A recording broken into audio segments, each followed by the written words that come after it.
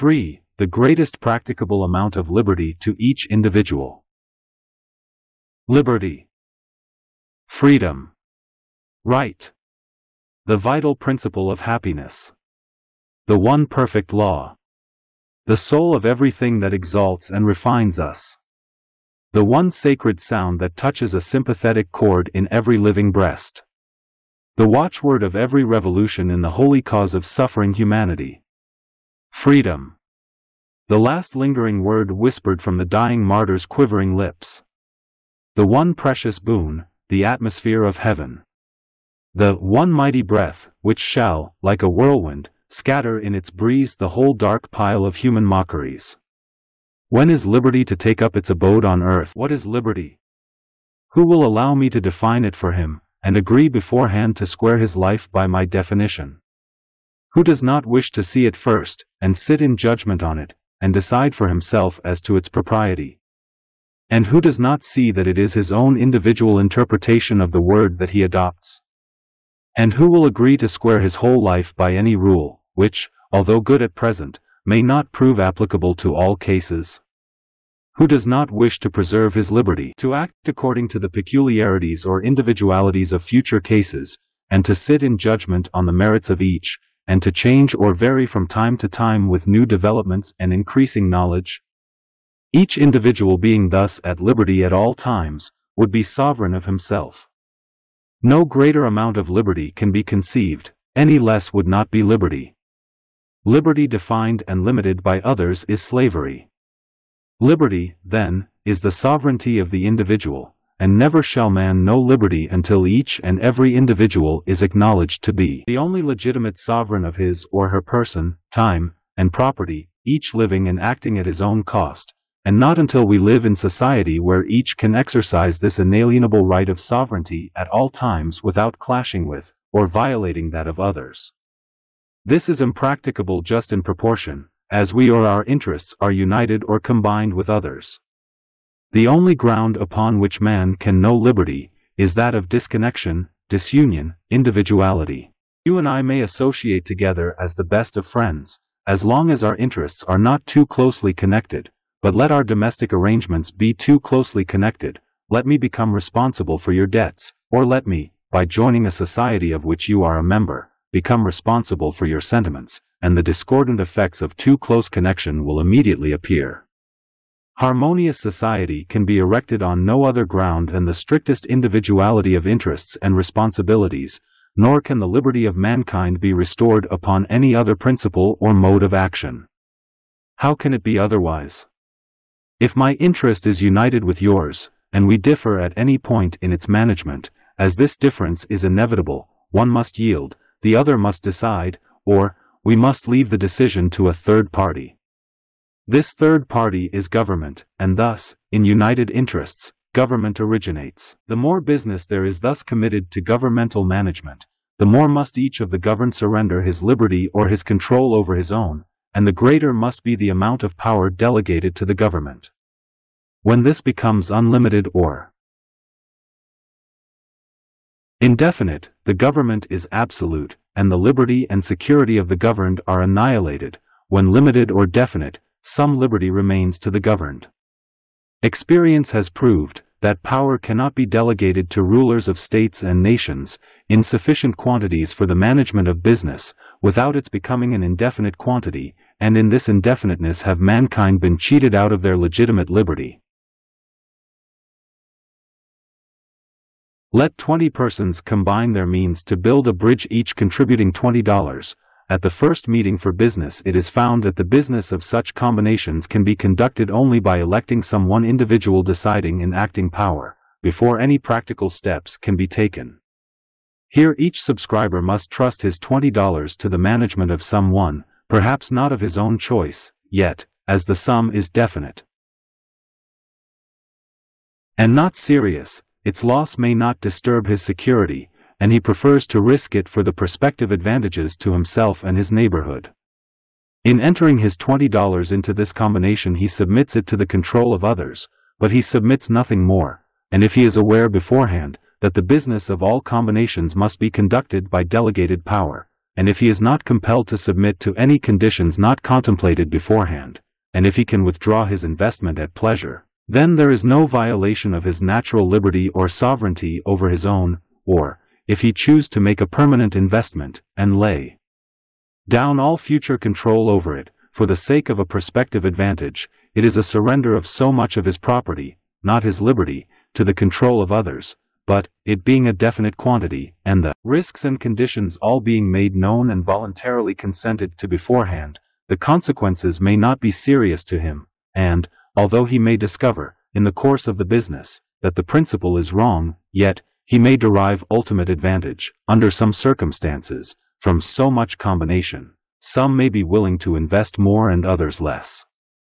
If each one is himself the supreme judge at all times of the individual case in hand, and is free to act from his own individual estimate of the advantages to be derived to himself or others, as in the above instance, then the natural liberty of the individual is not invaded, but it is when the decision or will of others is made his rule of action, contrary to his views or inclination, that his legitimate liberty is violated.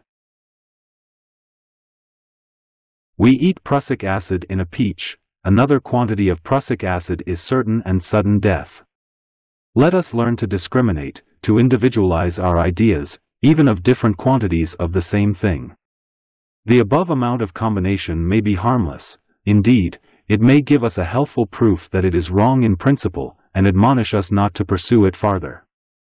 But now let us contemplate another degree of combination, combination as the basis of society, involving all the great interests of man, his liberty, his person, his mind, his time, his labor, his food, the soil he rests upon, his property, his responsibilities to an indefinite extent, his security, the education and destinies of his children, the indefinite interests of his race.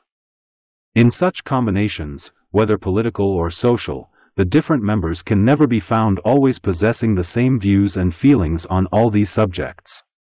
Not even two persons can perform a piece of music together in order. Unless one of them commences or leads individually, or, unless both agree to be governed by some third movement, which is an individuality. Two leaders cannot lead, the lead must be individual. Or confusion and discord will be the result. The same is true with regard to any combined movement.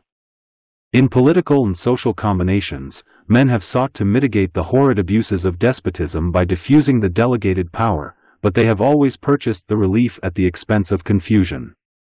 The experience of all the world has shown that the business of such combinations cannot be conducted by the whole of its members, but that one or a few must be set apart to lead and manage the business of the combination. To the power must be delegated just in proportion to the amount of business committed to their charge.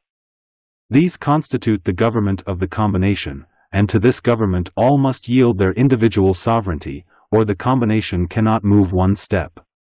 If their persons, their responsibilities, and all their interests are involved in the combination, as in communities of common property, all these must be entirely under the control of the government, whose judgment or will is the rule for all the governed, and the natural liberty or sovereignty of every member is entirely annihilated, and the government is as strong, as absolute as a government can be made, while the members are rendered as weak and as dependent on the governing few as they can be rendered, and consequently, their liberty and security are reduced to the lowest practicable degree. If only half of the interests of the individual are invested in the combination, then only half the quantity of government is required, and only half of the natural liberty of the members need to be surrendered, but as this definite quantity cannot be measured and set apart from the other half, and as government once erected, either through the indefiniteness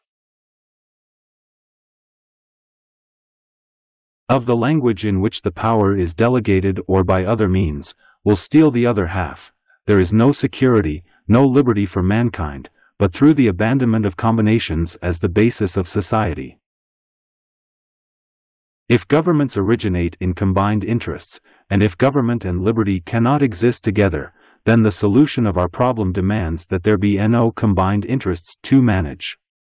All interests must be individualized, all responsibilities must be individual, before men can enjoy complete liberty or security, and before society can be completely harmonious. We can dispense with government only in proportion as we can reduce the amount of public business to be managed. This, then, is the movement for the restoration of the liberty of mankind, it is to disconnect, to individualize, rather than to combine or unite our interests. When one's person, his labor, his responsibilities, the soil he rests on, his food, his property, and all his interests are so disconnected, disunited from others, that he can control or dispose of these at all times, according to his own views and feelings, without controlling or disturbing others, and when his premises are sacred to himself, and his person is not approached, nor his time and attention taken up, against his inclination, then the individual may be said to be practically sovereign of himself, and all that constitutes or pertains to his individuality. No greater scope of liberty for every individual can be conceived, any less is not the greatest practicable amount of liberty, and will not supply the demand of our third proposition, 3. 4. Economy in the production and uses of wealth. The first and greatest source of economy, the richest mine of wealth ever worked by man, is the division and exchange of labor. Where a man is so isolated from society as to be deprived of the advantages of division and exchange of labor, and has to supply all his own wants, like Robinson Crusoe, there is nothing to distinguish him from the savage. It is only in proportion as he can apply himself to one or a few pursuits, and exchange his products for the supply of all his wants, that he begins to emerge from the crudest state of existence, to surround himself with conveniences and luxuries, and to reduce the burthen of his own labor.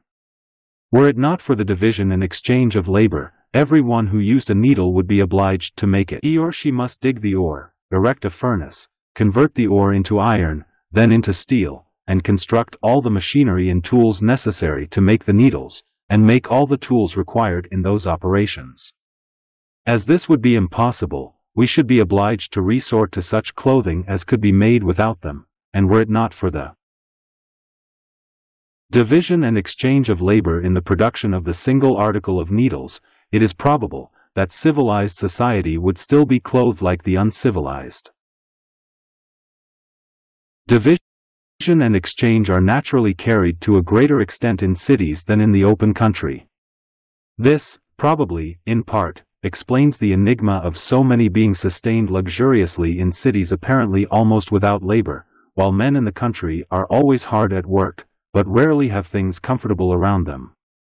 Being so remote from division and exchange, they are obliged to supply many of their own wants without the ordinary means of doing it, without tools, without instruction, without practice, they must mend a gate, repair their harness, make their own shoes, and expend, perhaps, three times the labor that a workman would require in the same operations, and it is badly done at last.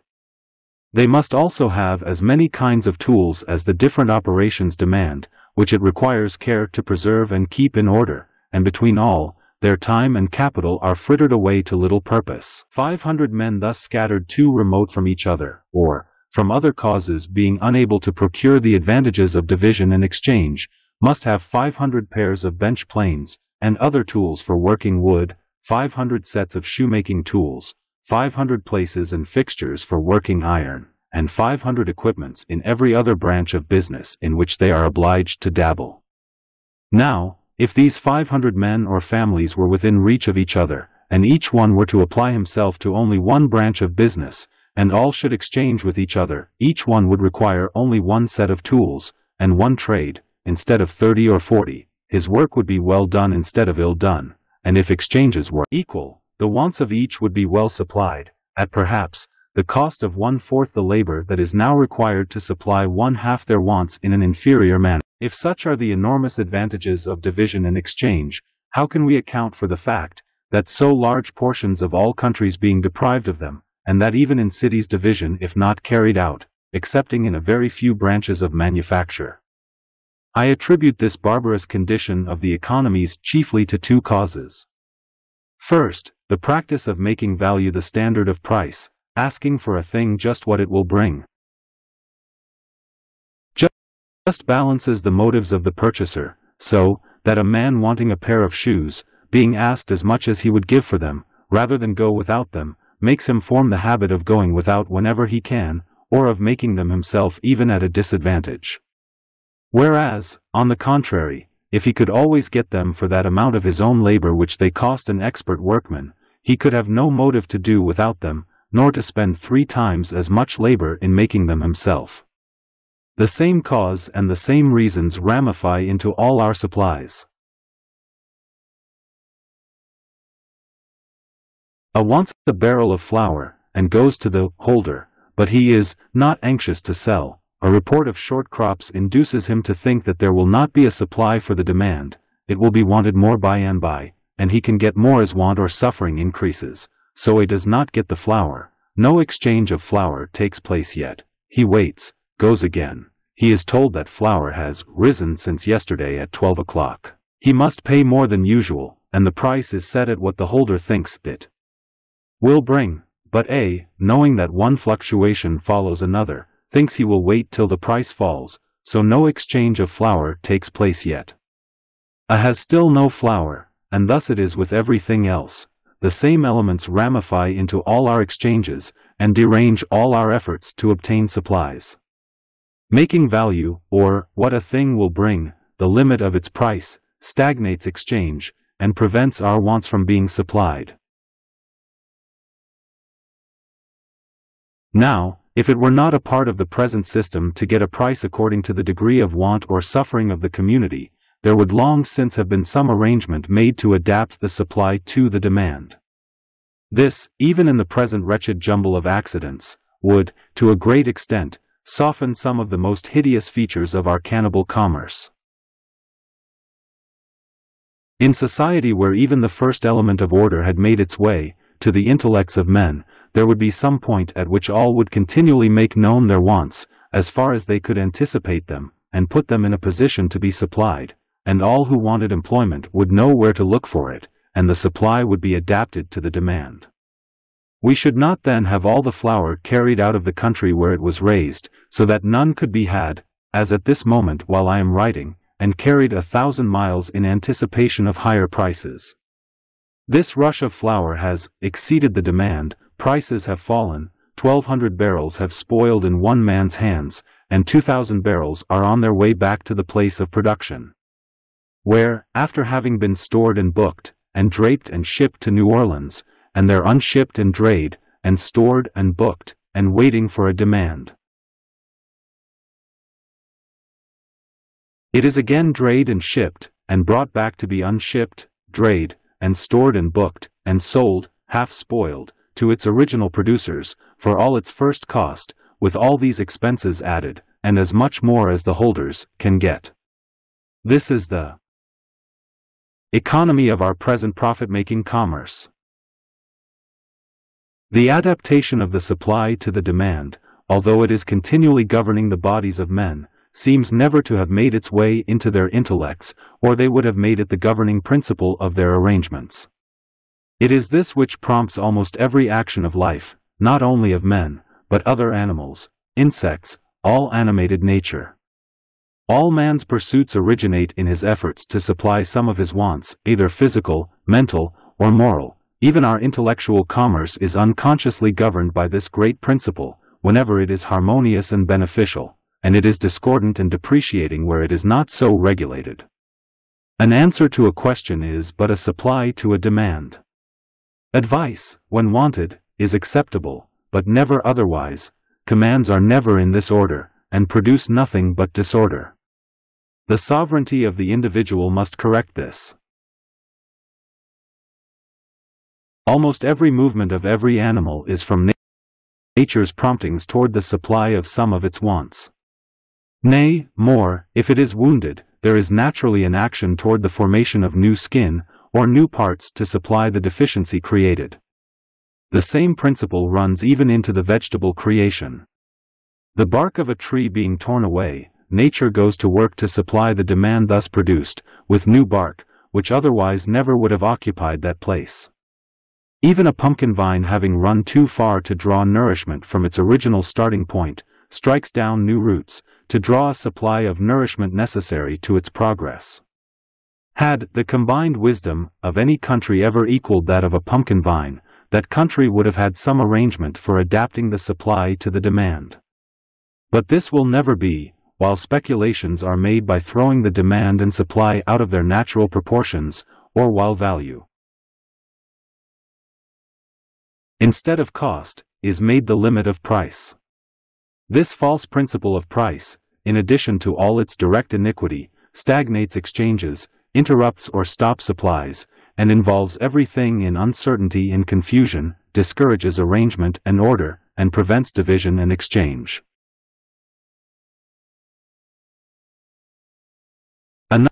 Another great obstacle to division and exchange is the lack of some principle by which to settle the prices, or which would itself settle them harmoniously, instead of the disgusting process of bargaining in every little transaction, which is so repugnant to good sense and good feeling that the best citizens are often induced to do without conveniences, or undertake to supply themselves to great disadvantage rather than enter into the degrading warfare which generally attends our pecuniary commerce. They will also afford to others little accommodations gratuitously for the same reason, these lay the receiver under indefinite obligations, one of the worst forms of slavery. Gratuitous labor must necessarily be limited, and thousands of exchanges of great value, but little cost, would immensely increase the comforts of all parties, where cost, as a principle, measured and settled the price in every transaction, without words, without disturbing our social feelings and self-respect. Another great obstacle to the development of this branch of economy is the uncertainty, the insecurity of every business. Men dare not make investments for carrying on business. Another great obstacle to extensive division of labor, and rapid and easy was this representative, but it is not. Men dare not make investments for carrying on everything. All labor, men dare not make investments for carrying on. Men dare not make investments. Was this representative, but it is not. Each representative we can always carry. Men dare not make investments for carrying on business to the best advantage while the markets for their products are unsteady, where prices rise at 8 o'clock and fall at 12. If prices were equitably adjusted by the cost principle, we should know, from year to year, from age to age very nearly, the prices of everything, all labor being equally rewarded according to its cost, there would be no destructive competition, markets would be steady, then we might subdivide the different parts of manufactures to any extent that the demand would justify at any time, and be safe, secure, and society would know the immense wealth to be derived from the division of labor.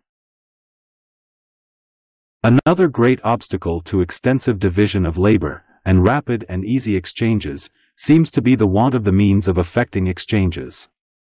We cannot carry our property about us for the purpose of exchanging. If we could do this, and give one thing for another at once, and thus settle every transaction, such a thing as money, or a circulating medium, never would have been known, but, as we cannot carry flour, shoes, carpentering, brickwork, storekeeping, etc., about us to exchange for what we want, we require something which represents these, which representative we can always carry with us. This representative of property should be our circulating medium. Theorists have said that money, was this representative, but it is not. A dollar represents nothing whatever but itself nor can it be made to. At no time is it any demand on anyone for any quantity of any kind of property or labor whatever. At one time a dollar will procure two bushels of potatoes, at another time three bushels, at another four, and different quantities of different persons at the same time. It has no definite value at any time, nor if it had, would its value qualify it for a circulating medium, but, on the contrary, its value and its cost being inseparably united with its use as a representative, disqualifies all money for acting the part of a circulating medium. It should have but one quality, one individual, definite purpose, that of standing in the place of the thing represented, as a miniature represents a person. Money represents robbery, banking, gambling, swindling, counterfeiting, etc., as much as it represents property, it has a value that varies with every individual that uses it, and changes as often as it is used, a picture that would represent at one time a man, at another a monkey, and then a gourd, would be just as legitimate and fit for a portrait, as common money is fit for a circulating medium. We want a circulating medium that is a definite representative of a definite quantity of property, and nothing but a representative, so that when we cannot make direct equivalent exchanges of property, we can supply the deficiency with its definite representative, which will stand in its place. And this should not have any reference to the value of property, but only to its cost, so that if I get a bushel of wheat of you, I give you the representative of shoemaking, with which you should be able to obtain from the shoemaker as much labor as you bestowed on the wheat, cost for cost in equivalent quantities, and to effect these exchanges with facility, each one must always have a plenty of this representative on hand, or be able to make it on the occasion, and so adapt the supply of the circulating medium to the demand for it, a problem that never has yet been solved by any financiers in the world, nor ever will be while value is taken into account of price. The remark is common, that, if money was plenty we would purchase many things that we cannot for want of it. Here, no exchange takes place that otherwise would, and division will always be in proportion to exchange or sales. Where there is no circulating medium, there cannot be much exchange or division.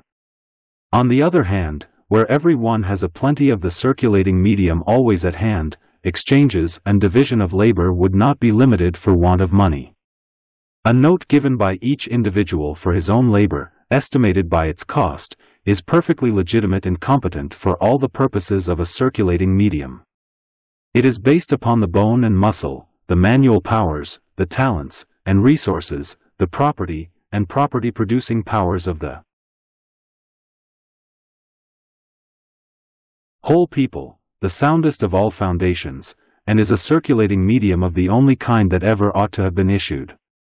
The only objection to it is, that it would immediately abolish all the great money transactions of the world, all banks and banking operations, all stock jobbing, money corporations, and money movements, all systems of finance, all systems of national policy and commercial corruption, abolish all distinctions of rich and poor, compel everyone to live and enjoy at his own cost, and would contribute largely to restore the world to order, peace, and harmony. Boarding houses, hotels, etc., having no principle for the government of prices but whatever they can get, in the cannibal competition of society, get whatever they can, and their inmates are only those who have no other homes.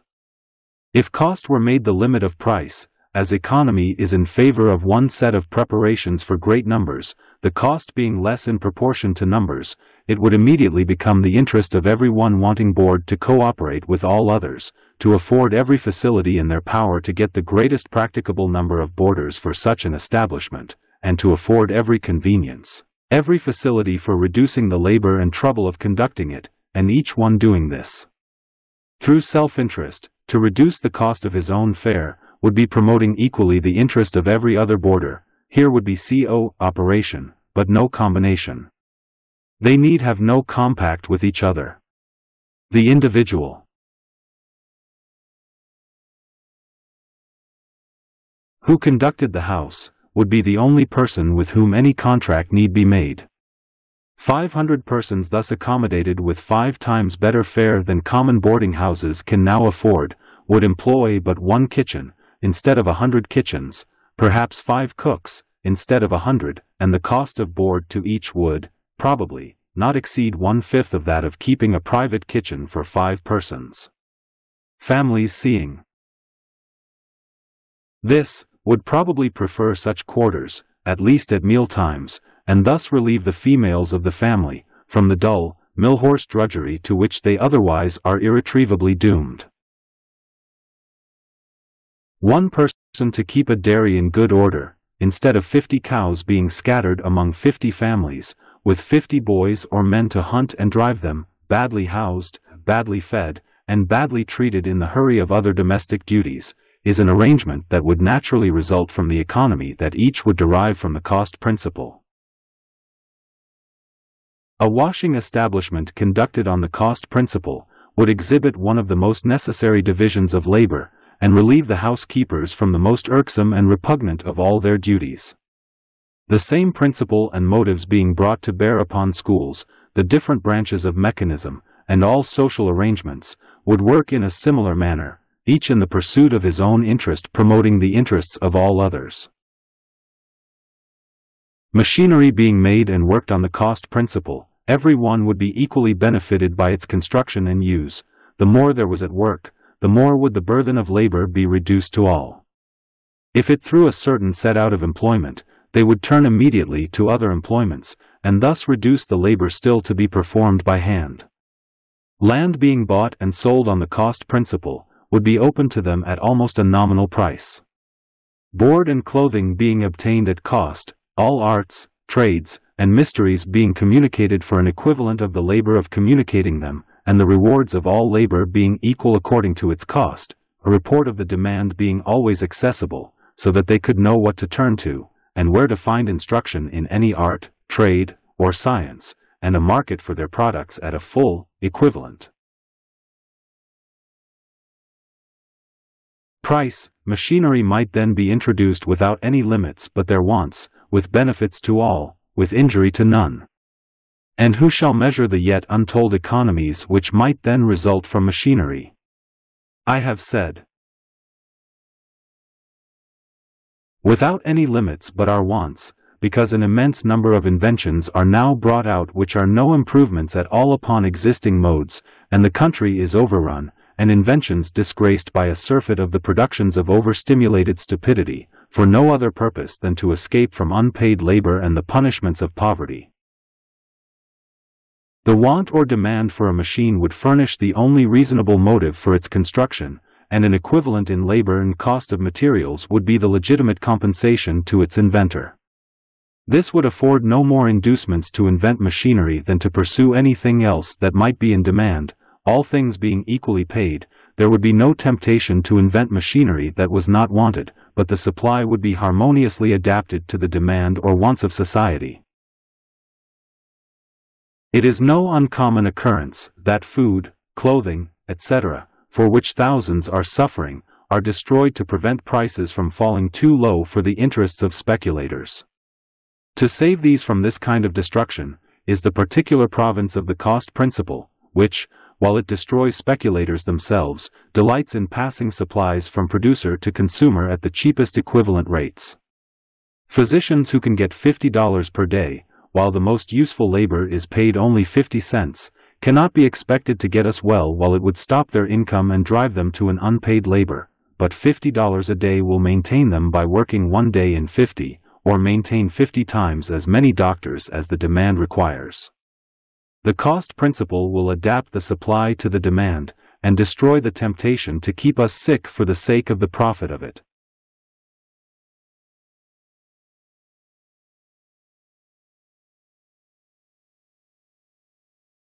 Swarms of lawyers, office holders, and office seekers crowd. Swarms of lawyers, office holders, and office seekers crowd the ranks of useless consumers, whose chief business it is to contrive means of keeping up the state of things by which they are exempt from unpaid labor, and enjoy a few of the privileges of freemen. Individualizing all business, committing none to the management of government, and conducting all our business equitably with our fellow men, on the cost principle, will sweep away all demand for them, will compel them to assist in reducing rather than increasing the burthen of labor, and paying all labor by equivalence will change even their condition for a better. Hordes of robbers, pirates, bankers, speculators, thieves, gamblers, pickpockets, swindlers, etc., who are driven into anything to live, and to escape abused labor at starvation prices, may suddenly become useful citizens, when labor is properly paid, and assist in reducing rather than increasing the burthen of labor.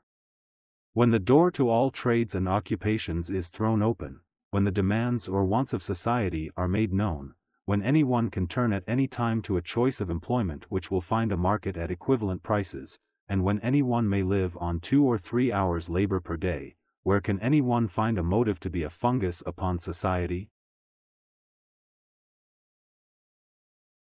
When we contemplate the immense piles of materials and mechanism in church paraphernalia, the armies of preachers and theological impostors, their typesetters, printers, their emissaries in every nook and corner of the world, all unproductive, and only professing to counteract the vices of the present system, we see in these reasons enough for its total demolition. A direct and equitable exchange between the present producers would entirely cut them off from the means of existence. If it be true that the demand for these grow out of the vices of the present social state, these being cured, their occupation will be at an end, and their transition to the productive and self-supporting class will not only put a stop to their excessive, wasteful consumption, but will immensely reduce the still remaining burden of labor.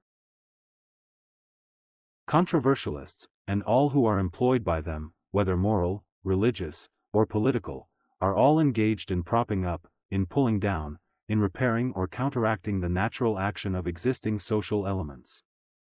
Their equitable and harmonious adjustment would relieve us of all these taxes upon our time and labor, which would be no small item of economy. Everything being bought and sold for the greatest profit the holder can get, it becomes his interest to purchase everything as cheap as possible, the cheaper he purchases the more profit he makes. This is the origin of the present horrid system of grinding and destructive competition among all producers, who are thus prompted to underwork each other. Thus, too, it is, that there is scarcely any article of food, clothing, tools, or medicines, that is fit for use, that we are always purchasing to throw away, to be cheated out of our money and time, and be disappointed in our supplies. Responsibility rests nowhere. The vendor does not make them, but imports them from those beyond the reach of responsibility. Why is everything imported, even shoes, tools, woolen and cotton cloths? For profit. It is because things are not sold for their cost, but for whatever the holder can get. Were cost made the limit of price, the vendor of goods would have no particular motive to purchase them at the very lowest prices that he could grind out from manufacturers, and they would, therefore, have no motive to underwork and destroy each other. There would be no more of each than enough to supply the demand, no motive to import what could be made with equal advantage at home, and the manufacturer would be obliged to assume the individual responsibility of his work, because where profit-making did not stand in the way, the merchant would not otherwise purchase of him, and where land was bought and sold at cost, Every man of business would own the premises where the work was done, and could not easily run away from the character of it. And this must be kept good, or another would immediately take his place. Here, then, in the cost principle, is the means of rendering competition not only harmless, but a great regulating and adjusting power. And under its mighty influence, should we not only escape national ruin from the excessive importation of worthless articles, but should have good ones always insured, by their manufacturers being within reach of tangible responsibility. The scramble for unlimited profits in trade being annihilated by equitable exchanges between nations, the imports and exports would be naturally self-regulating, and limited to such as were mutually beneficial, and each would have a cooperating interest in the prosperity of the other. When this takes place, the armies and navies now employed in consuming and destroying, will be compelled to turn to producing, at least whatever they consume, and thus take off another crushing load from downtrodden labor. Cost being made the limit of price, no bargaining, higgling, and chaffering, so disgusting to every one, will stand in the way of a direct purchase at once of whatever anyone wants. The price will be known from year to year, and will be paid without asking it, and the time now consumed in higgling and bargain-making will be harmlessly or usefully employed. Wars are, probably, the greatest of all destroyers of property, and they originate chiefly in two roots. First, for direct or indirect plunder, secondly, for the privileges of governing. Direct plunder will cease when men can create property with less trouble than they can invade their fellow creatures. Indirect plunder will cease with making cost the limit of price, thus cutting off all profits of trade. The privileges of governing will cease when men take all their business out of national or other combinations, manage it individually, deal equitably with each other, and leave no governing to be done. Every one having full pay for his labor, can afford the luxuries of mechanism, commerce, and science. Each exchanging with the other for an equivalent as a settled principle, there could remain no inducement for a man, or a country, or a nation, to attempt to supply all their own wants to disadvantage, but, as under cooperative interests, every one would gain in proportion to the division of labor, this great element of economy would be carried to the very highest state of perfection. These are a few of the items of economy that appear as necessary consequences of equity among men, others will suggest themselves to each mind as the subject is studied. v. To open the way to each individual to land and all other natural wealth. By natural wealth is here meant all wealth, so far as it is not the result of human labor. The cost principle being made the limit of price, opens all this wealth to every one at once. Land being bought and sold on this principle, passes from owner to owner with no farther additions to prime cost than the labor of buying and selling it. If improvements C have been made upon it, their cost only being paid, makes the natural wealth free and accessible to all without price. In this manner simple equity would free, not only public, but private lauds, from the trammels of profit-making. If it could not be sold for profit, it would not be bought for speculation, and, it cannot be sold for profit in competition with those who will buy and sell it for an equivalent. Therefore, here is a power in simple equity which is perfectly irresistible to free all lands, and to keep them free, a power by which one person alone can open the land for miles around him, and make it accessible to all who require it. No power on earth can prevent him, and he can do it without sacrifice to himself. Metals in the earth are natural wealth, and the cost principle would pass them to consumers at the cost of labor in digging, preparing, and delivering them.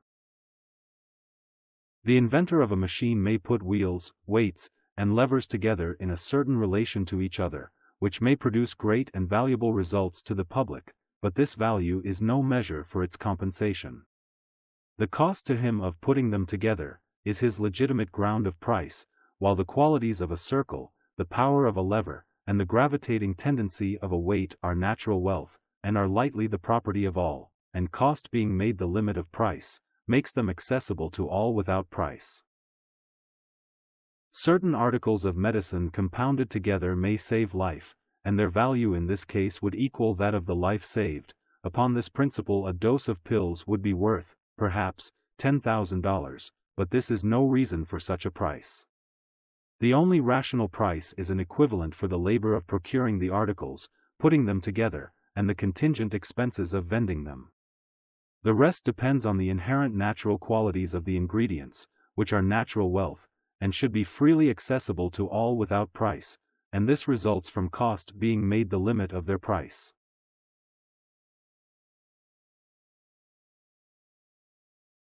A teacher of music may communicate the principles of composition, which may be of great value to the receiver, but this value is derived chiefly from the inherent qualities and relations of sounds to each other, upon which they depend for their effect, and which are not of man's creating, nor has man any right to make them the ground of price in communicating them to others. If the teacher of music be paid for his labor in an equivalent only, then the natural wealth inherent in musical elements, becomes accessible to all without price. The same may be said of all sciences, arts, trades, mysteries, and all other subjects of our commerce, whether pecuniary, intellectual, or moral. One may devote his time and labor upon an intellectual production, but who can measure its value? This depends chiefly upon the new truths developed or communicated. It is its cost only that can be equitably made the ground of price, and when this is refunded by an equal amount of labor, equally repugnant or disagreeable, and equally costly in its contingencies, the writer is legitimately compensated, the rest is natural wealth. The cost principle draws a distinct line of discrimination between this and the wealth produced by labor, awarding to every one equivalence for cost, but for cost only, while all natural wealth is thus rendered free and accessible to all without price, which solves the fifth proposition of our social problem. 6. To make the interests of all to cooperate with each other, instead of clashing with and destroying each other. If cost is made the limit of price, everyone becomes interested in reducing cost, by bringing in all the economies, all the facilities to their aid. But, on the contrary, if cost does not govern the price, but everything is priced at what it will bring, there are no such cooperating interests. This will be self-evident to many, but to some minds a few illustrations may be necessary, in addition to what has already been said relative to boarding houses, etc. If I am to have my supply of flour at cost, then, any facility I can afford to the wheat grower, reduces the cost to me, and as it does the same for all who have any portion of the wheat, I am promoting all their interests while pursuing my own. If I know that planting in drills produces more with less labor, it is my interest to communicate it, and have experiments instituted. If I can construct a machine to save labor in planting, cultivating, harvesting, or grinding, it is for my interest, and that of all others, to cooperate in getting it into operation. If I see the fences down, exposing the wheat to the depredations of cattle, it is my interest, and that of all others, to have the breach repaired as soon as possible, because all contingent losses become part of the cost. Now, if the wheat were not to be sold to us at cost, but at whatever it would bring.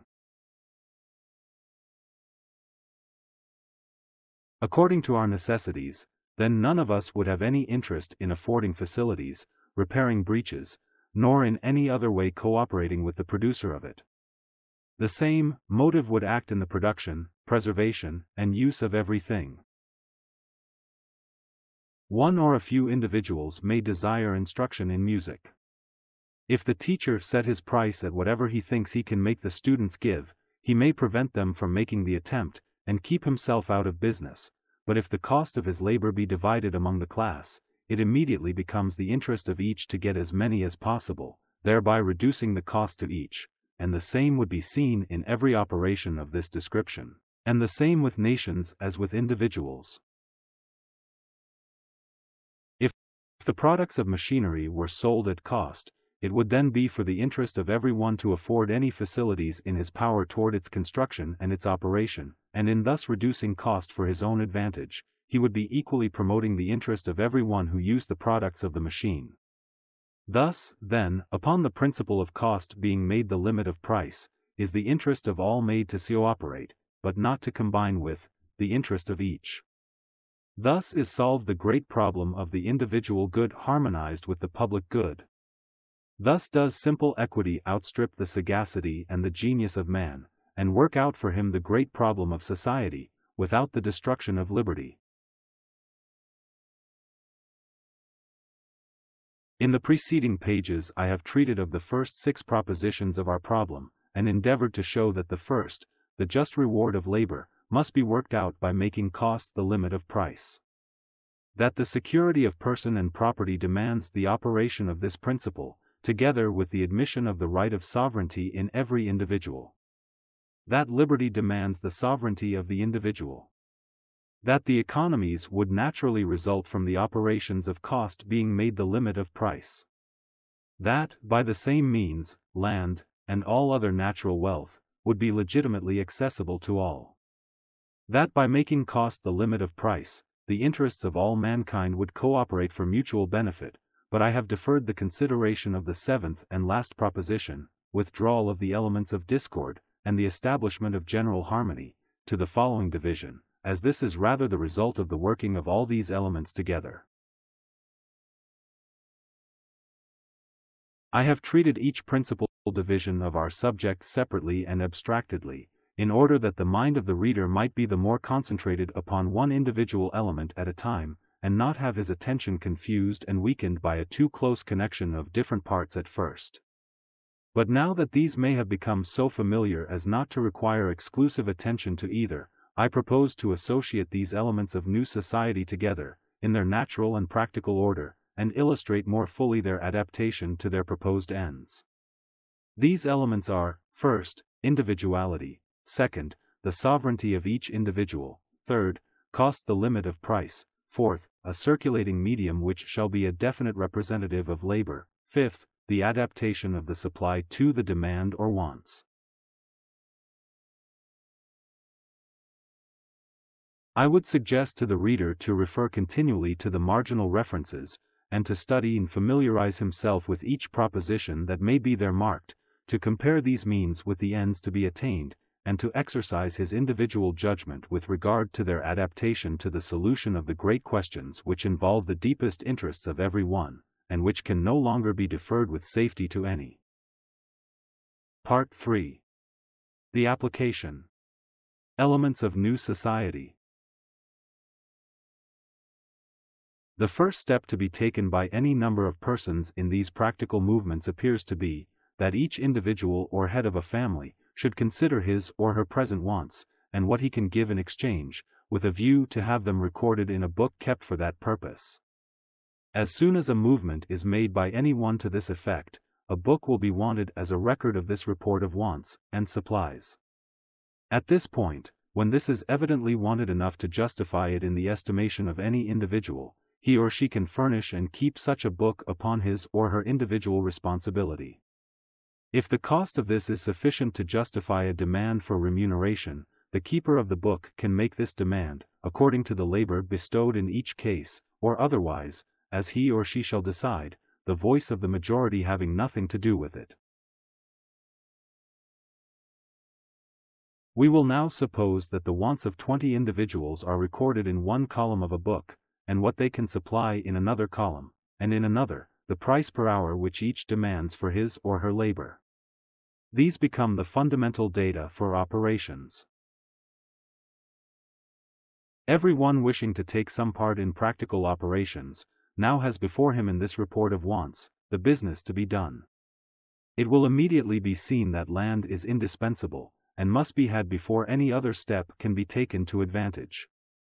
Some one seeing this want, after consulting the wishes or demands of the co-operators, proceeds on his individual estimate of this demand, at his own risk, and at his own cost, to purchase or otherwise procure land to commence upon, lays it out in lots to suit the demand, and sells them to the co-operators at the ultimate cost, including contingent expenses of money and labor in buying and selling. The difference in the price of a house lot thus bought and sold, compared with its price when sold for its value, will be found sufficient to make the difference between every one having a home upon the earth, instead of one half of men and women being homeless. We will now suppose the lots purchased and paid for by each one who is to occupy them. They will want to consult continually together, in order to cooperate with each other's movements, this will require or demand a place for meetings. As soon as this want is apparent, then is the time for some one to estimate this want, and take it on himself individually to provide a room, and see himself remunerated according to cost, which cannot fail to be satisfactory to all in proportion as they are convinced that cost is the limit of his demands, which he can always prove by keeping an account of expenses and receipts, open at all times to the most public inspection that, see Note A, in Appendix. At this public room, provided each one is properly preserved from the ordinary fetters of organization, all can confer with each other relative to their intended movements. If one has a suggestion to make to the whole body, he can find listeners in proportion to the interest that each one feels in his proposition, and a decent respect to the right of every one to listen if he chooses.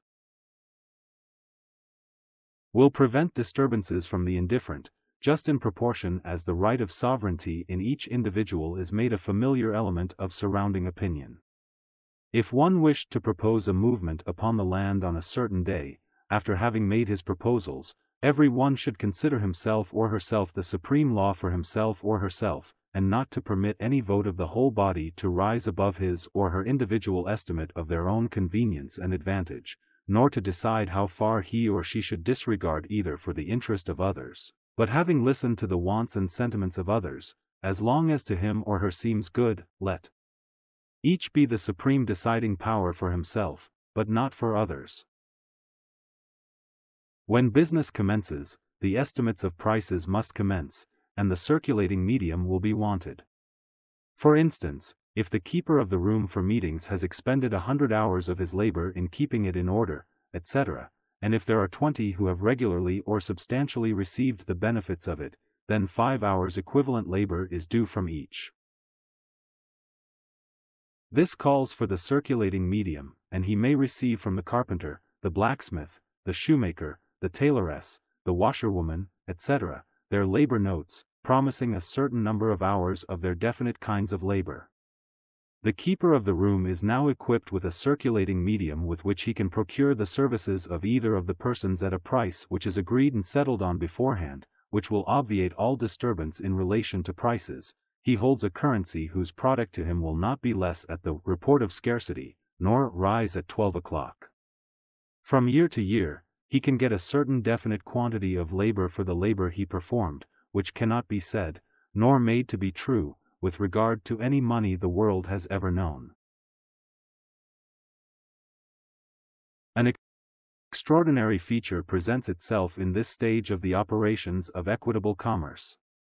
When the washerwoman comes to set her price according to the cost or hardness of the labor compared with others, it is found that its price exceeds that of the ordinary labor of men.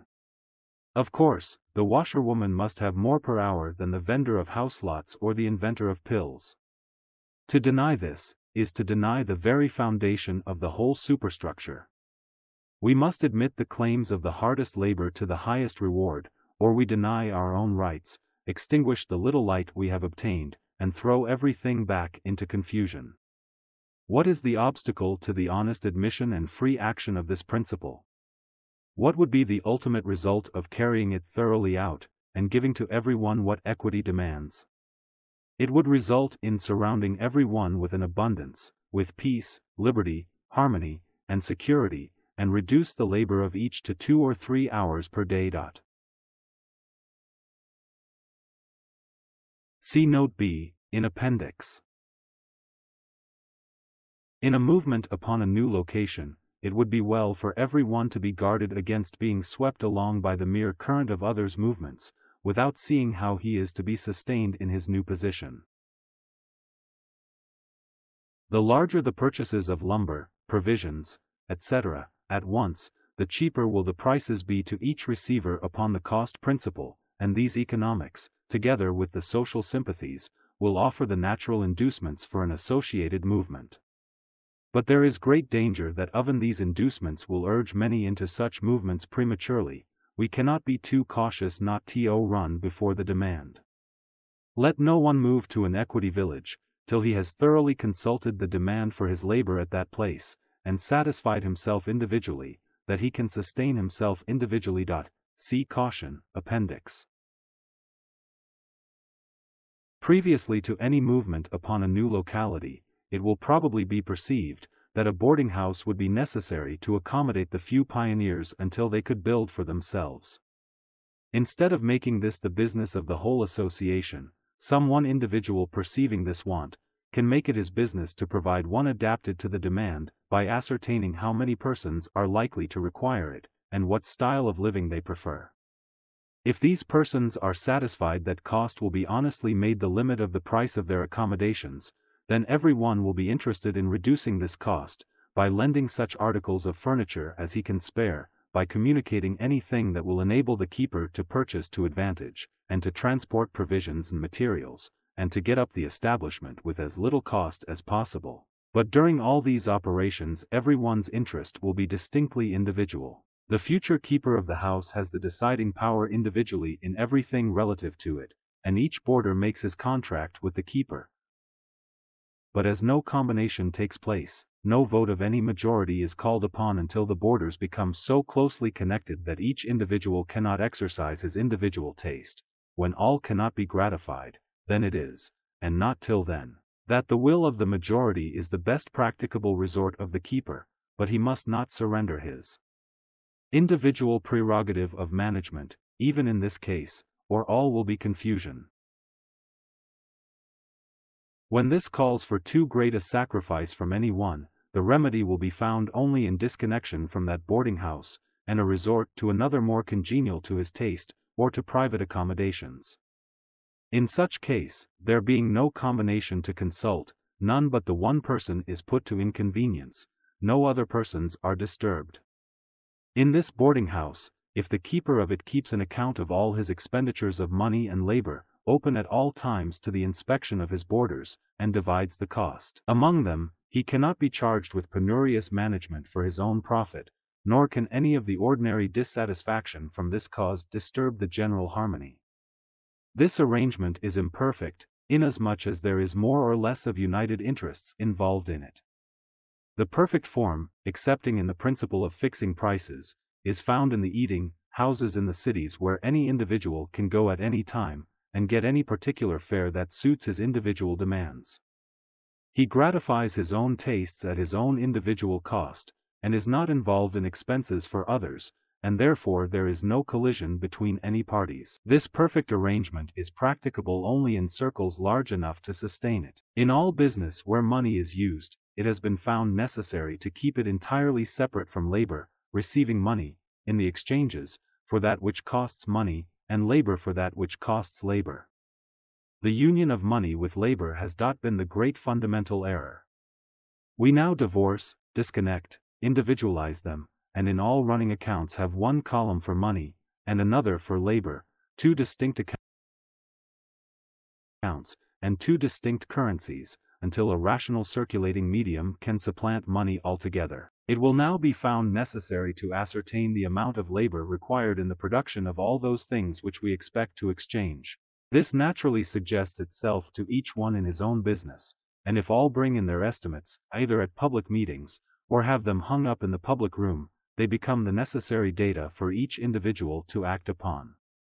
It is this open, daylight, free comparison of prices, which naturally regulates them, while land, and all trades, arts, and sciences, will be thrown open to every one, so that he or she can immediately abandon an unpaid labor, which will preserve them from being ground by competition below equivalents. If A sets his estimate of the making of a certain kind of coat at 50 hours, and B sets his at 30 hours, the price per hour, and the known qualities of workmanship being the same in both, it is evident that A could get no business while B could supply the demand.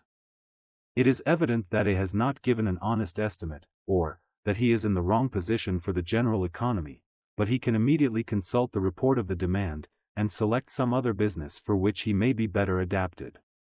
If he concludes to make shoes, his next step is to get instruction in this branch. He refers to the column of supplies, and ascertains the name and price per hour of the shoemakers, he goes to one of them, makes his arrangement for instruction, then provides himself with a room and tools, sends for his instructor, pays him according to the time employed, and becomes a shoemaker. Is this thought impracticable? See note on apprenticeships, in appendix.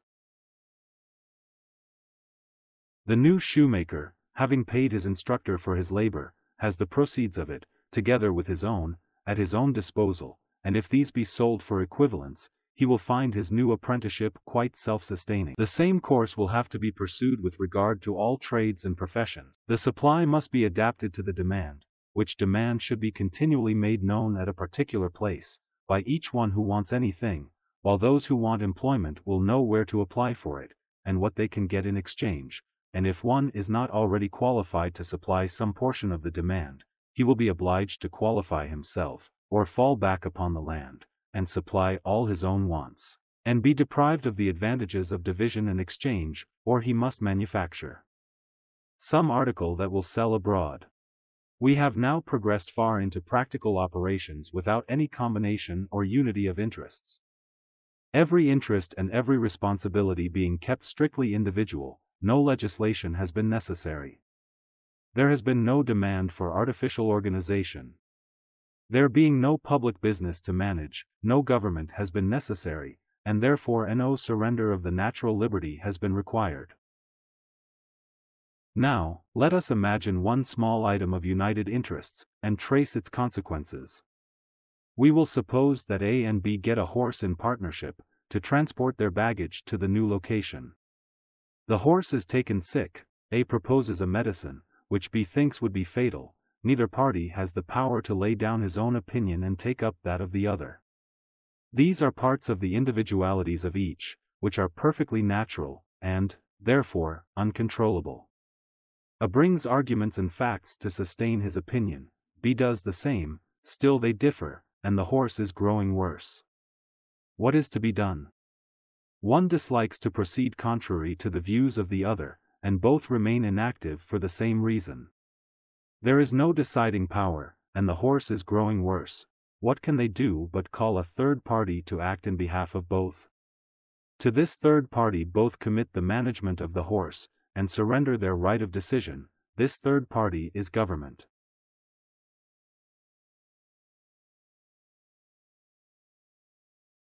This government cannot possibly decide both ways, and either A or B, or both, remain fearful and dissatisfied. The disturbance now extends itself to the third party, producing a social disease in addition to that of the horse. This is in the wrong direction. We must take another course, retrace our steps. Look into causes, and we shall find the wrong in the unity of interests, disunite these, let A own the horse individually, then, if he is sick, a has the deciding power, listens to such counsel as he judges useful, and then proceeds to treat the horse. If the horse dies, A takes on himself the cost of his own decisions and acts, and the social harmony remains undisturbed. To be perfectly harmonious, all interests must be perfectly individual. Those who are most averse to collision with others, will find this an invaluable truth. Natural individualities admonish us not to be dogmatical on this or any other subject, but to be careful not to construct any institutions which require rigid adherence to any man-made rule, system, or dogma of any kind, to leave every one free to make any application, or no application, of any and all principles proposed, and to make any qualification or exception to them which he or she may incline to make, always deciding and acting at his or her own cost, but not at the cost of others. If the horse, in the above instance, should die under A's decision and treatment, while B held an interest in him, then A decides and acts partly at the cost of B, which is wrong and discordant. Let us now examine the motive for this partnership interest. Is it for economy? We have that secured in the operation of the cost principle, and, therefore, united interest is unnecessary. Under the partnership interest, A and B would each have half the labor of the horse, and would bear half of his expenses. If cost were made the limit of price, and they owned him individually, and should let him work for B half of the time, the price would be half of his expenses, exactly the same result aimed at by the united interests. The difference is only that the one mode paralyzes action, is embarrassing and discordant, and, therefore, wrong, while the other admits the freest action, works equitably toward both parties, is perfectly harmonious, and, therefore, right. Again, let any laws, rules, regulations, constitutions, or any other articles of association be drawn out by the most acute minds, and be adopted by the whole. As soon as action commences, it will be found that the compact entered into becomes differently interpreted. We have no power to interpret language alike, but we have agreed to agree. New circumstances now occur, different different from those contemplated in the compact. New expedients are to be resorted to, language is the only medium of communication, and this is variously interpreted, two or more interpretations of the same language neutralize each other, an opinion expressed, is misunderstood, and requires correction. The correction contains words subject to a greater or less extent of meaning than the speaker intended, these require qualification. The qualification is variously understood, and requires explanation, the explanations require qualifications to infinity. Different opinions and expedients are now offered, all of which partake of the same elements of confusion, counter opinions rise up on all sides, new expedients are proposed, all subject to various interpretations and appreciations, all requiring explanations and qualifications, and these, in their turn, demand qualifications and explanations. Different estimates are formed of the best expedients, but there is no liberty to differ. All must conform to the articles of compact or organization, the meaning of which can never be determined. Opinions, arguments, expedients, interests, hopes, fears, persons, and personalities, all mingle in one astounding confusion. All order is destroyed, all harmony has changed to discord. What is the origin of all this? It is the different interpretations of the same language, and the difference in the occasions of its applications, where there is not liberty to differ. A deep, seated, unseen, indestructible, inalienable. Individuality, ever active, unconquered, and unconquerable, is always directly at war with every demand for uniformity or conformity of thoughts and feelings. We ask again, what is to be done? As we cannot divest ourselves or events of natural individualities, there is but one remedy, this is, to avoid all necessity for artificial organizations, which necessity is founded in united interests. One person becoming security for another, produces a unity of interest that infringes the liberty of one, and often destroys the harmony of both. If C becomes security for D, then C has an interest and a right to a voice in all D's movements and expenditures until this connected interest is at an end. As natural individualities will probably compel them to differ in opinions of business, and matters of convenience and taste, the ease and security of C, and the harmony of both, are at least in danger, while C is involved in D's movements or expenditures. Dissolve this united interest, let D act upon his own individual responsibility, at his own cost, and he can then, and not till then, be the law unto himself. Exactly the same reasons apply against one person being in debt to another, and it is only by settling every transaction in the time of it, either by equivalents or their representative, such as the labor note, that the liberty, peace, and security of all parties can be preserved. Running accounts between any two persons are liable to be erroneous, from omissions and mistakes which are entirely beyond the control of the best intentions, but errors from these causes cannot be distinguished from those of design. All these are elements of uncomfortableness and discord, which those who value social harmony will avoid, by making every transaction an individual one, settling each in the time of it, when all its peculiarities are fresh in the minds of both parties. Once being settled to the satisfaction of both, nothing is left to the memory or the indefinite guess, work of the future, which is almost sure to produce dissatisfaction to one or both parties. A still more subtle, and more serious invasion of the rights of property, the natural liberty, and social harmony, is constantly at work in the form of indefinite obligations. If A lend B a hammer, it may be of great value to B, but no price is set upon it. This is considered a neighborly accommodation, and common morality says, neighbors should accommodate each other. The next day A applies to B for the loan of his favorite horse.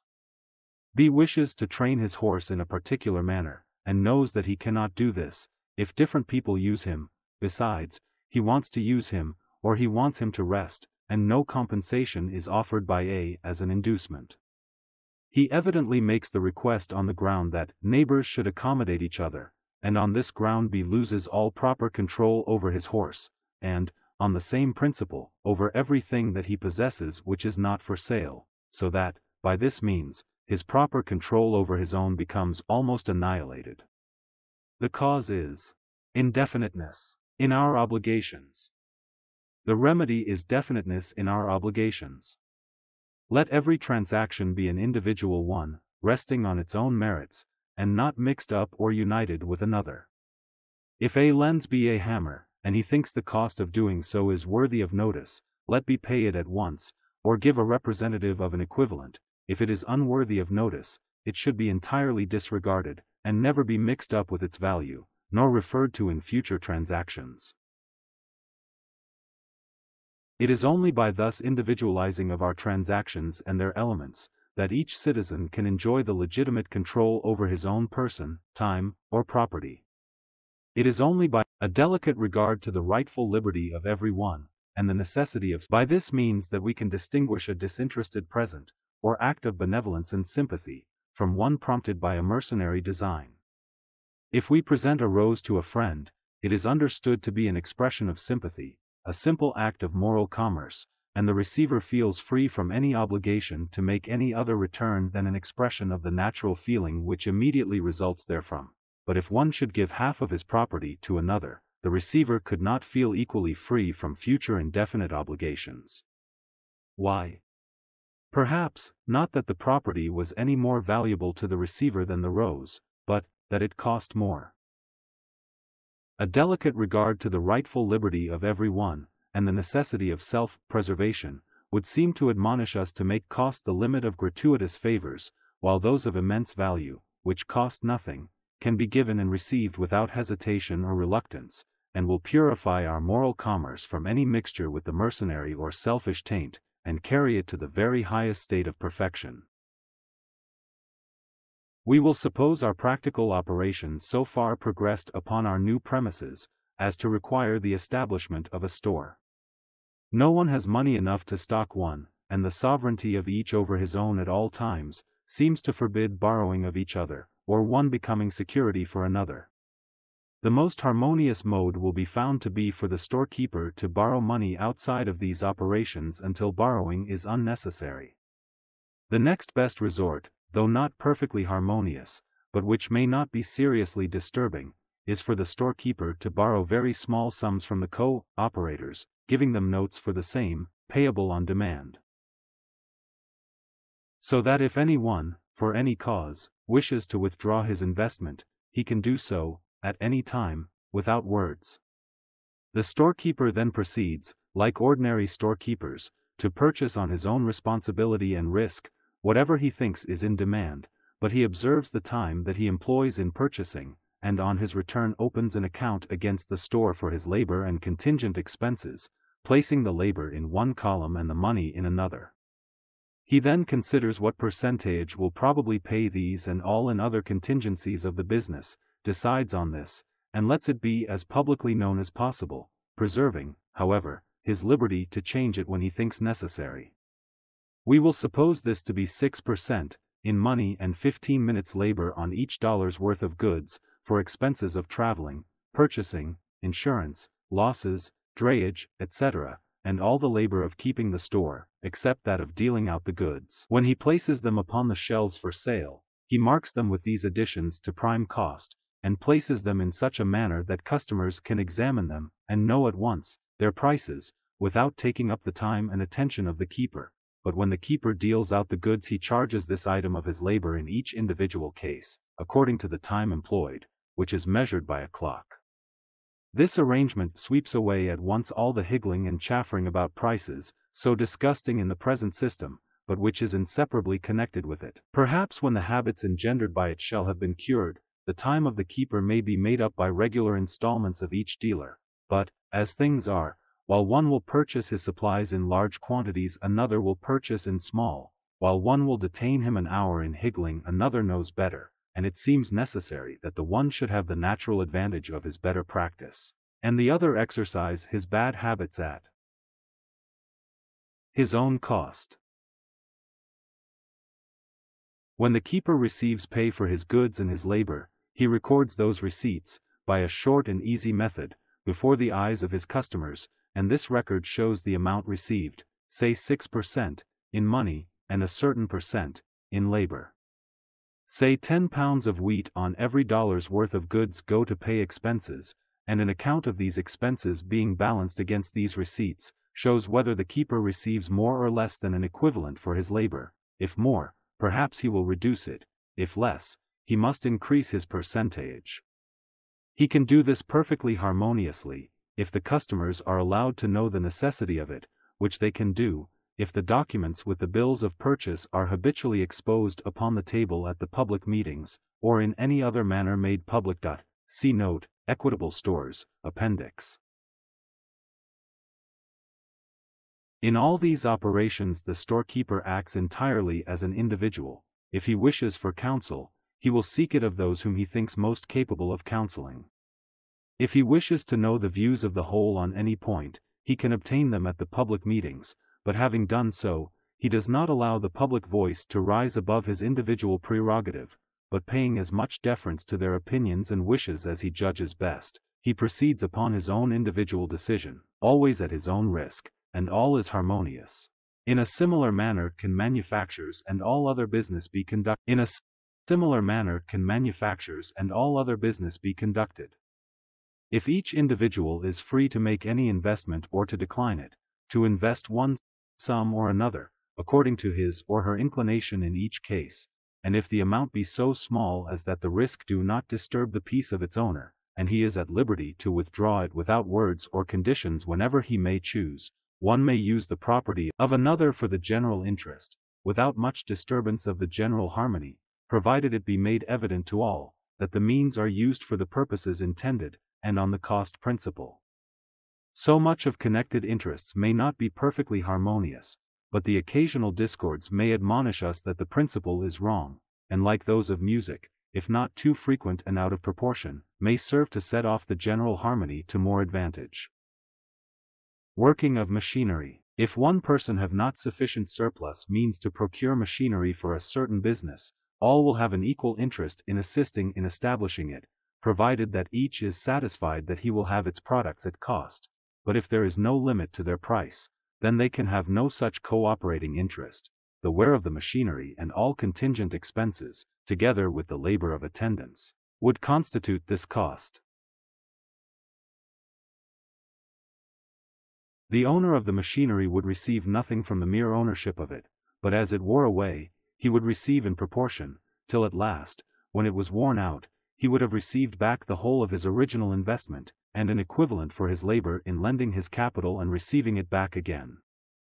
Upon this principle, the benefits of the labor-saving powers of the machinery are equally dispersed through the whole community.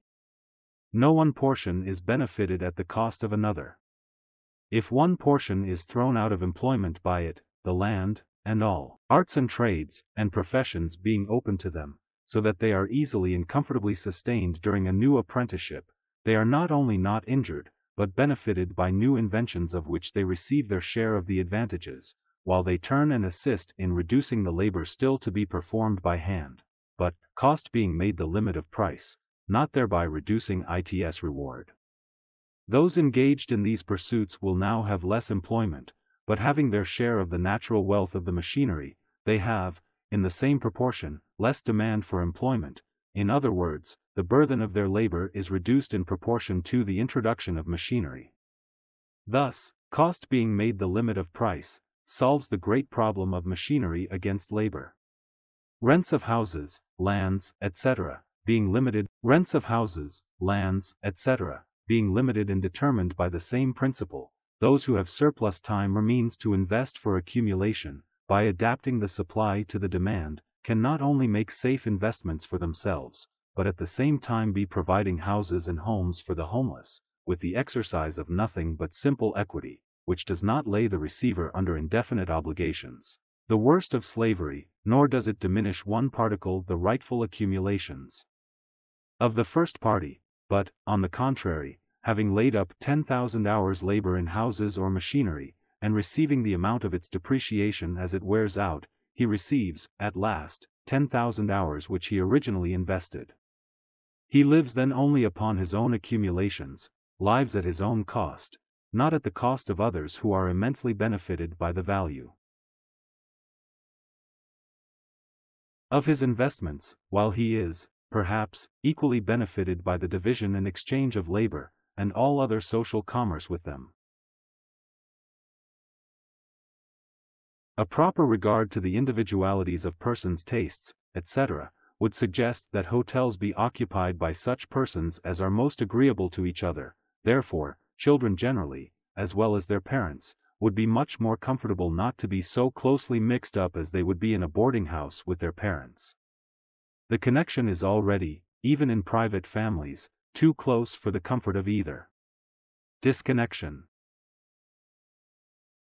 will be found the real movement for the happiness of both, and hotels for children, according to the peculiarities of their wants and pursuits, would follow of course.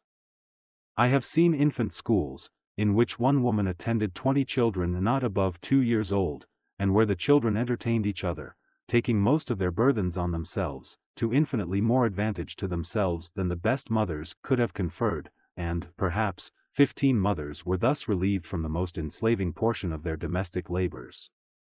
And if such institutions were opened and conducted by individuals upon individual responsibilities, instead of combination, and upon the cost principle, every mother and father, and every member of every family, would be deeply interested in promoting the convenience and reducing the cost of such establishments, and in taking advantage of them. Instead of the offensive process of legislating upon the fitness of this or that person for those situations, which is rendered necessary in a combination, any individual who thought that he or she could supply the demand, might make proposals, and the patronage received would decide. This would be an entirely individual movement, there would be no use for laws, governments, or legislation, but there would be cooperating interests. Every mother would be free to send her child or not, according to her individual estimate of the proposed keeper, the arrangements, and the conditions, and it would, therefore, be a peaceful process, whereas, if every mother should be required by a government, or laws, or public opinion, to send her children, without the consent of her own individual approbation, we might expect what we always experience in combination, resistance, discord, and defeat. The individual is by nature a law unto himself or herself, and if we ever attain our objects, this is not to be overlooked or disregarded. Education. What is education? What is the power that educates? With whom will we trust the fearful power of forming the character and determining the destinies of the future race? Everything we come in contact with educates us. The educating power is in whatever surrounds us. If we would have education to qualify children for future life, then must education embrace those practices and principles which will be demanded in adult age.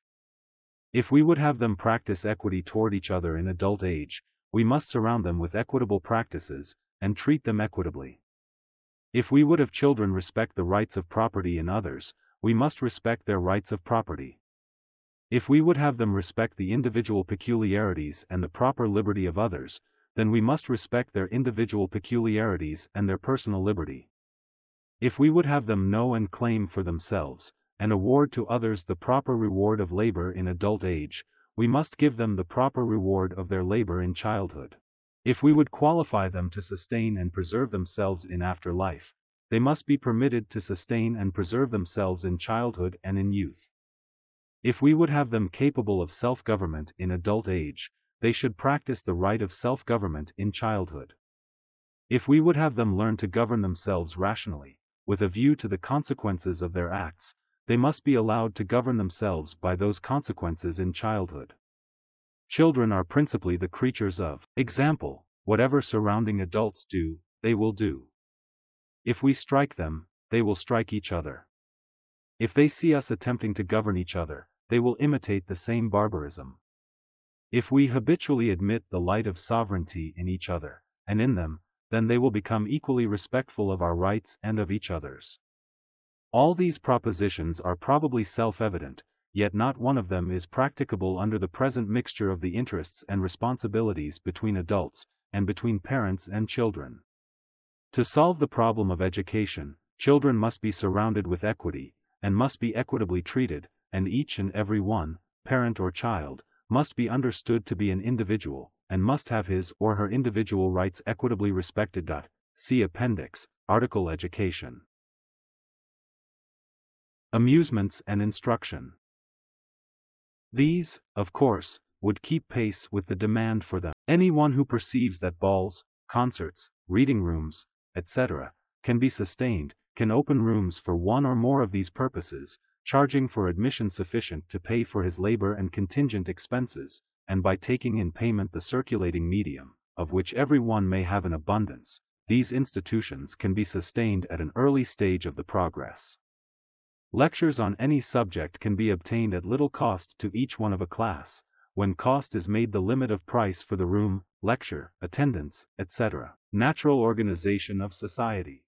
It would, probably, not be advisable for less than 30 families to commence these operations, because, less than about this number could scarcely commence the exchanges, so as to derive much economy from them. For instance, two families could not sustain a shoemaker, nor a carpenter, an iron worker, nor any other indispensable profession. Thirty families might sustain some of them, by which means each could have the benefits of all. Six families could not sustain a storekeeper, probably not less than thirty could. If fifty families commenced together, the economies would be greater, a hundred families greater still, and they would be great in proportion to the size of the circle, until it became too large for interchange and correspondence. We have supposed a few pioneers to have advanced upon our new premises, and these probably would embrace one or two carpenters, perhaps a shoemaker, an iron worker, housekeeper, etc. When they have commenced their operations, they will probably see what is wanted there or in the surrounding neighborhood. If the location is sufficiently near a city to afford a market for surplus labor, the cooperators can divide their time between the two places, Otherwise the greatest caution is necessary in the coming together, and the growth must be slow in proportion to the want of a sustaining demand.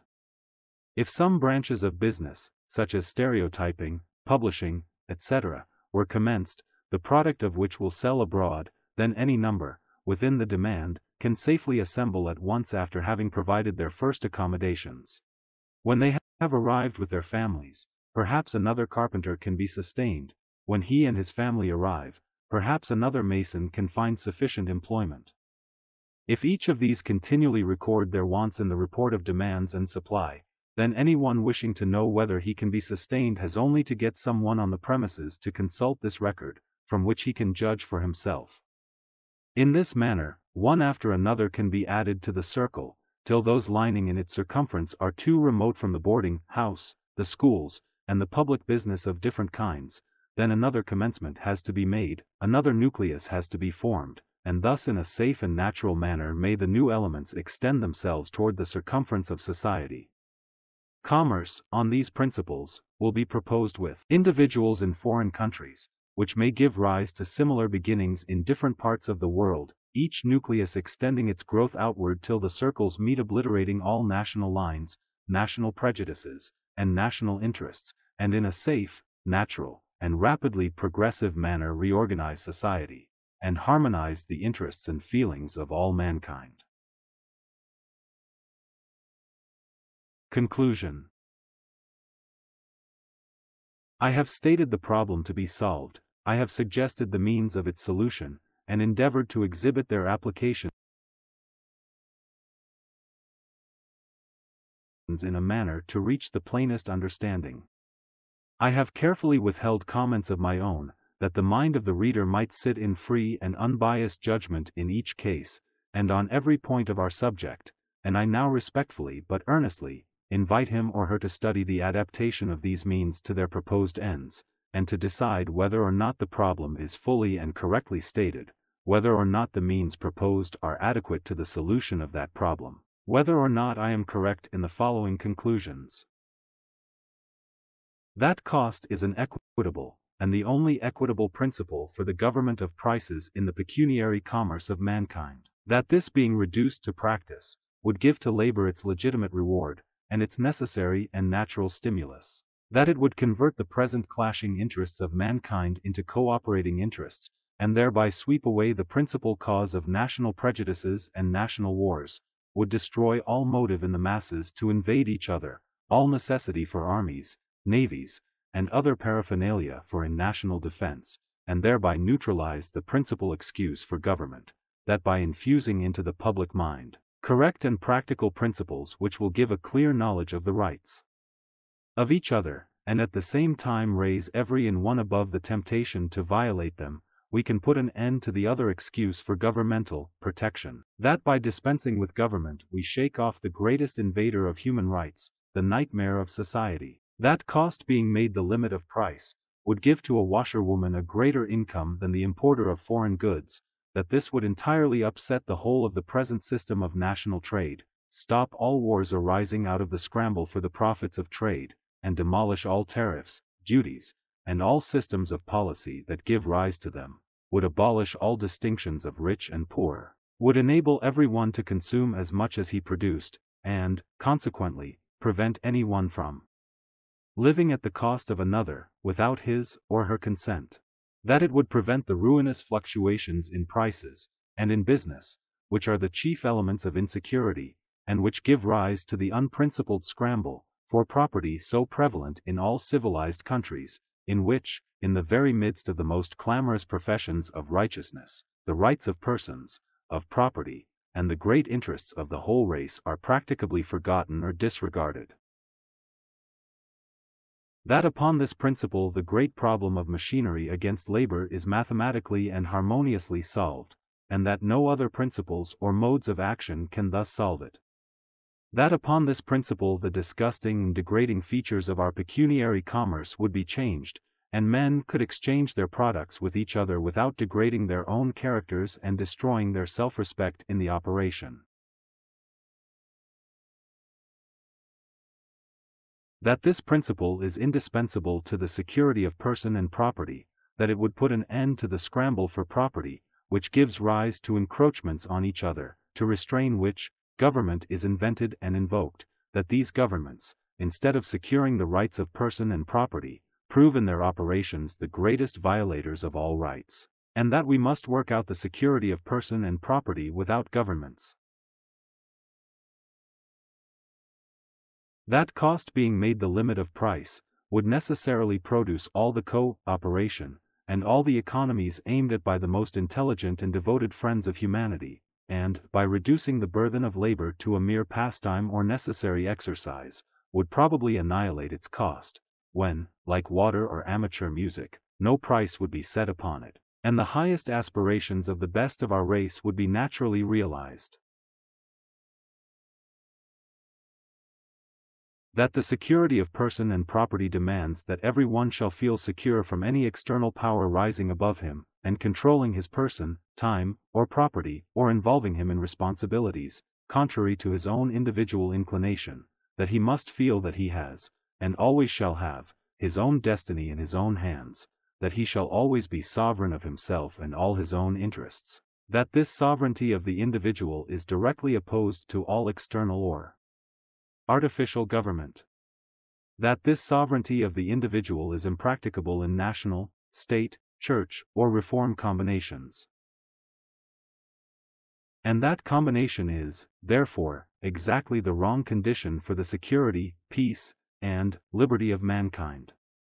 That the true movement for the attainment of these ends, is for each individual to commence immediately to disconnect his person and all his interests from combinations of every description, and to assume the entire control of them as fast as they can be sufficiently separated from others, so that he can control his own, without controlling them. That a rational circulating medium, a definite representative of property, that a rational circulating medium, a definite representative of property on equitable principles, has never been known to mankind, that all the great money transactions of the world, all banks and banking operations, all stock jobbing, all money corporations and money movements, all systems of finance, and all the money business of the world, have been based upon shells, metals, and pictures, things which are no better qualified for a circulating medium, than a floating log is fit for a boundary of a piece of land. That all the legislative action on this subject has been conducted in the most profound ignorance of what a circulating medium should be, or legislators have abused their trust, and sold the people to their enemies. That a rational and equitable circulating medium, together with cost as the limit of price, would strike at the root of all political, commercial, and financial corruption, and contribute largely to establish equity, security, liberty, equality, peace, and abundance, wherever it shall be introduced. That all interests and responsibilities must be entirely individualized, before the legitimate liberty of mankind can be restored, before each one can be sovereign of his own without violating the sovereignty of others. That the sovereignty of every individual is not only indispensable to security, but constitutes the natural liberty of mankind, and must be restored back to each, before society can be harmonious. That the sovereignty of the individual becoming a new element in public opinion, and thereby constituting each the supreme deciding power for himself at all times, would put an end to all discordant controversies on all subjects, disarm all laws and governments of their desolating power, and, that with an habitual regard to this right in every one, no one's time or attention would be taken up, nor their thoughts or feelings disturbed, against his or her inclination, and that our social intercourse would thus become purified, refined, and exalted, to the very highest conceivable state of perfection. That the natural tendency of these new elements of society is to abolish all the cause of crimes, and all the horrid inventions for punishment, and to take away the last excuse of men for their insane cruelty to each other. That the sovereignty of the individual constitutes the largest liberty to each individual, that liberty defined and limited by others is slavery.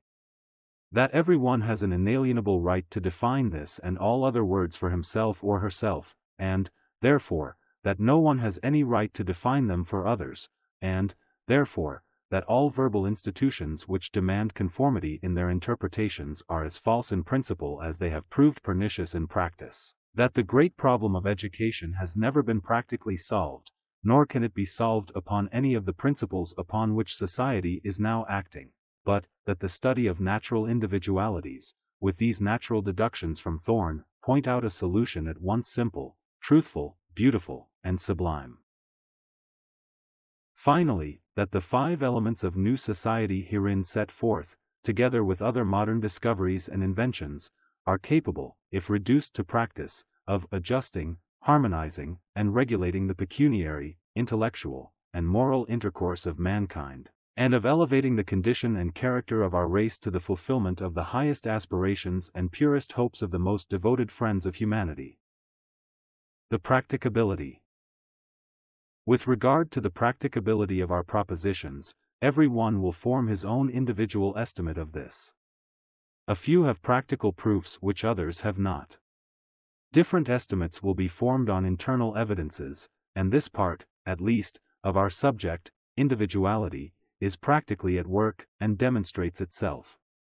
If every one is free to differ, and no attempt is made to change anyone's views or action against his inclination, Another practical step is gained, but with regard to the movement as a whole, it is addressed, first of all, to the noble few whose intellects and hearts have not been destroyed by the prevailing cannibalism of the world, and whose last hope has not become entirely extinguished by the repeated failures of enterprises having similar objects in view.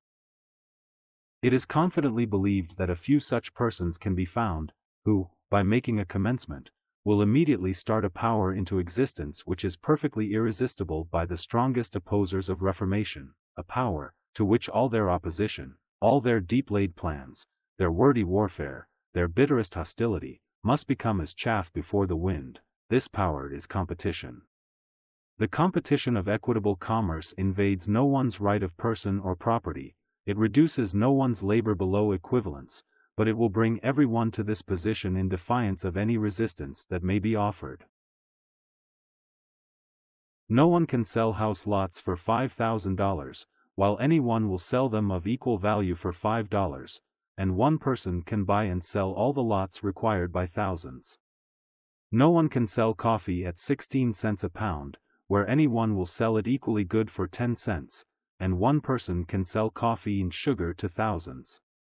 No one can get $5 per hour for visiting the sick, when another, whose services are equally valuable, can be obtained for an equivalent. No lawyer can get $100 per hour, when another will do the business as well for an equal amount of labor. If it be objected that the first beginnings cannot be made, we meet this with the fact, that there is no branch of necessary knowledge that is not now accessible immediately to those who want employment, and that in the professions mentioned, the durations of the customary apprenticeships do not generally equal those of the cabinet maker, the iron worker, or the carpenter, and that where profit is not made by concealment and mystery, any demand can be very readily supplied, and that any number of any profession, which is likely to be wanted, can be qualified in from two to three years. Competition is an element of society so well known and understood, that no illustration is necessary to show that where one person will deal more for the interest of the public than another, he will get all the business, or others must come to his prices, and that in this position one person can wield an immeasurable power. The competition of equitable commerce exerts this power upon all professions that are paid above equivalence, and the natural propensity for self-preservation raises those below up to equivalence. The power of money itself, which wields all other powers, must sink into imbecility in competition with a rational circulating medium, and those who possess the most money, may suddenly find themselves the most powerless and most dependent of men.